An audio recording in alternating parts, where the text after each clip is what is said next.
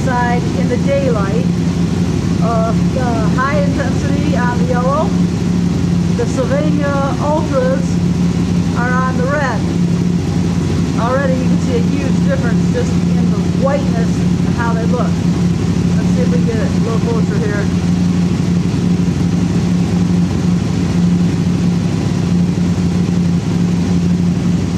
See that? A lot whiter on the yellow one than on the red one. We'll get a night picture here before we're done so you guys can get an idea.